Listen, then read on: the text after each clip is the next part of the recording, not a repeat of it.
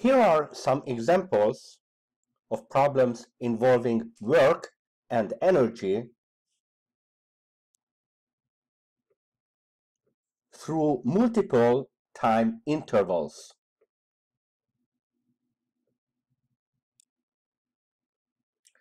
In addition to your normal steps for solving work and energy problems, multi-event interval problems use additional strategic steps as an envelope encompassing and connecting multiple smaller problems.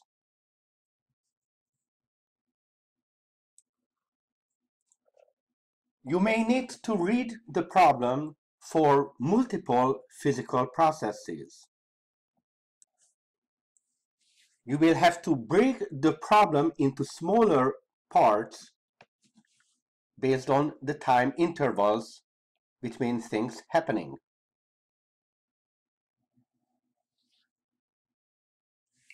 You will solve the intervals from the one with the least unknowns and then use that answer as an input to the other intervals. When checking your solution at the end, you will need to return to the original greater picture rather than just a simple start to finish single interval.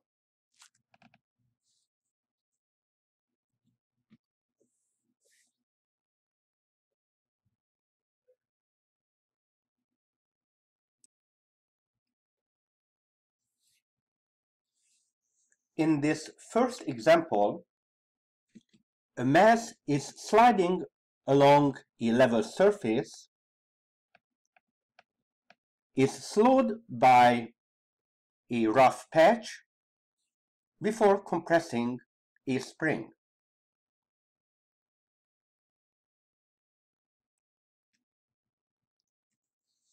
When reading such problem, identify the physical principles involved. This example involves friction, which we can solve using the work energy principle. Another part of the problem involves changes in speed and compression, which can be solved using conservation of energy.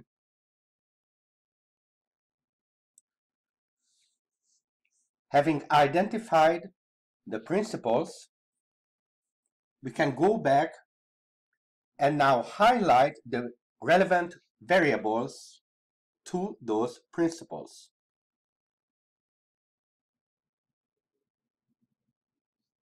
As always, note what is being asked for.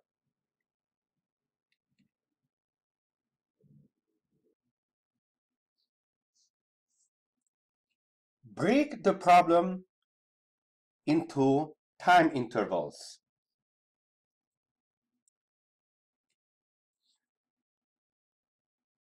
Note that only use time intervals with a definable start and finish where something has changed or there was an interaction in between those events.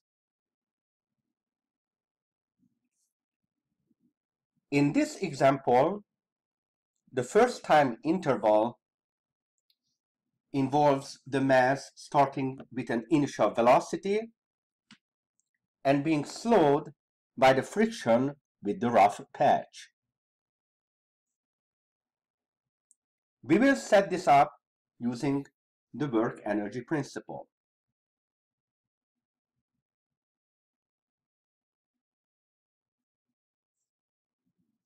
During the second time event, the mass, having cleared the rough patch,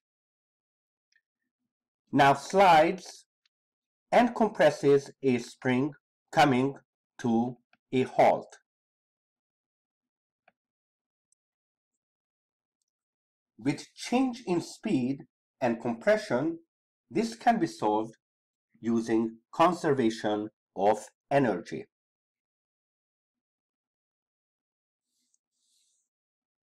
Note that in this case, the second time interval has the least number of unknowns, so we can start our solution with that.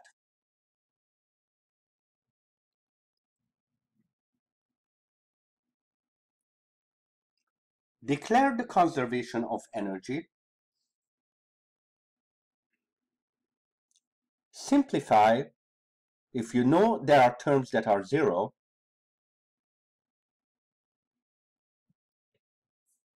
express your equation in terms of its variables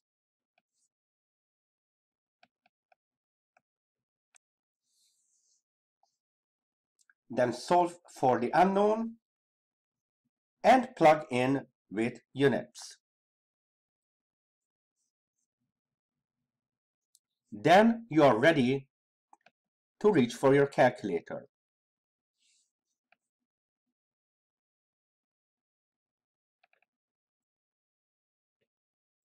We will now use the answer from the other time interval to plug back into the first time interval.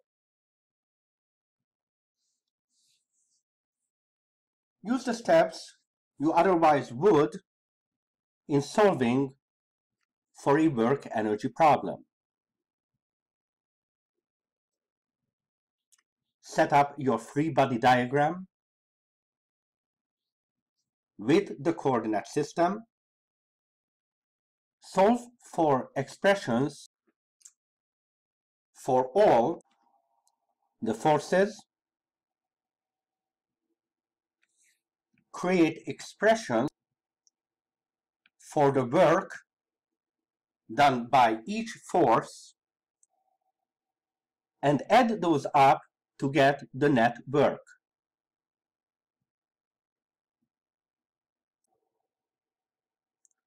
Use the work energy principle to solve for the unknown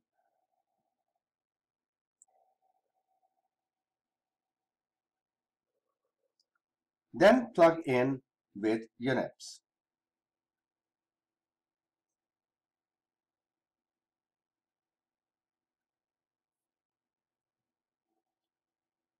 As always, reread the problem to check that you have answered all the questions and that your solution is sensible. Note that not all answers are realistic, but at least you should check that they are within physical bounds. For example, in this problem, the coefficient of kinetic friction must be a positive dimensionless number.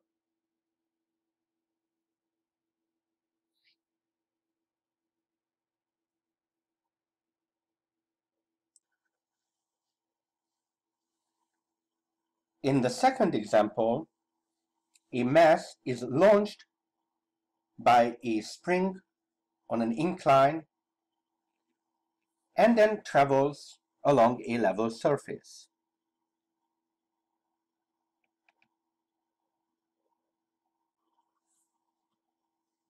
We notice that height, speed, and compression are changing which implies using conservation of energy.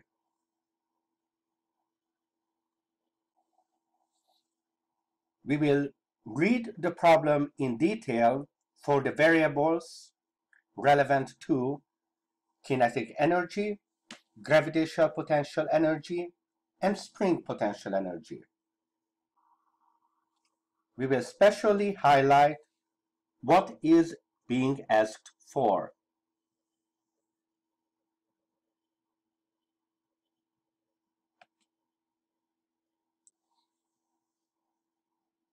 In this example, there are two time intervals of note. In the first time interval, the mass starts from rest,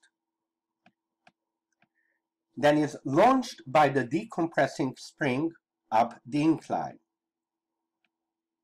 Note that height is already changing as well. During the second time interval, the mass is free of the spring, sliding up the incline, after which it is recorded to have a final velocity.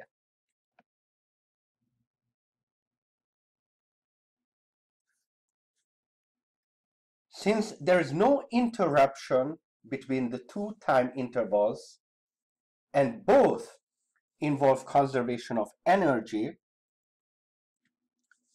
it is possible to combine the two steps into a single one, thus saving time on writing your steps.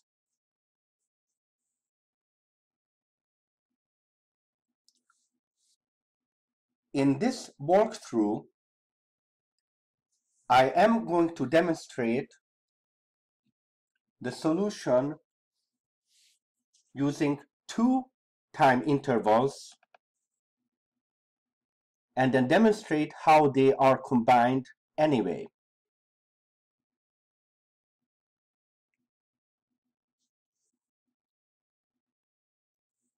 Because both time intervals involve the same two unknowns, it is arbitrary which one we start with. For the first time interval, we set up the conservation of energy, simplify it, and solve for an unknown that we will use later. We will call this equation 1. We will do a similar solution with the other time interval.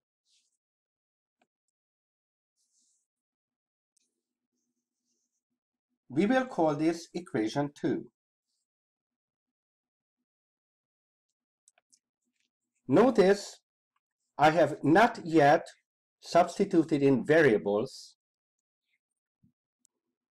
and that's because it is possible to substitute entire terms of equations to algebraically equate them and eliminate the in-between time step we don't need.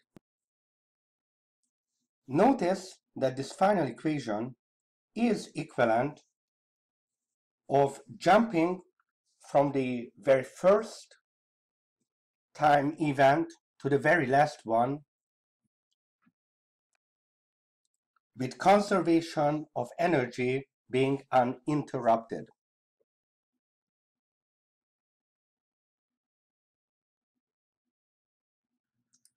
From here on, the steps are straightforward, but remember what variable you are solving for.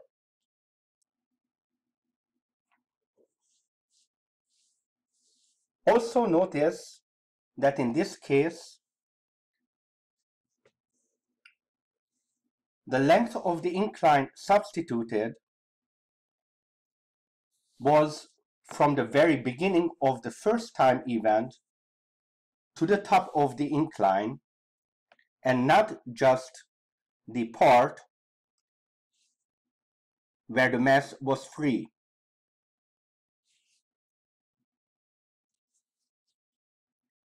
Finish by rereading the problem and making sure you answered it in a sensible way.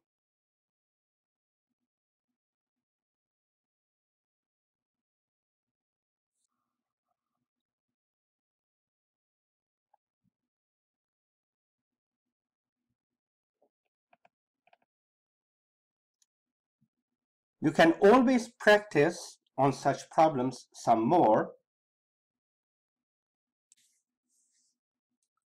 by substituting in